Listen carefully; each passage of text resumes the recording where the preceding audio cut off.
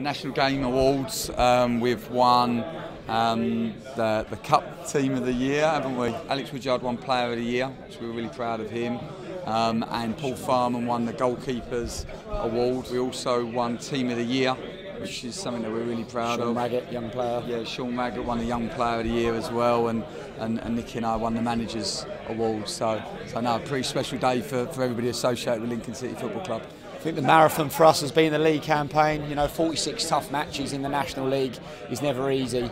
Uh, but we've also been fortunate enough to have really good cup runs as well in the FA Trophy and, and, and of course the FA Cup. So it's been a, a very enjoyable season, and you know we're, we're very grateful to be here today to, to celebrate what's been a, a successful season.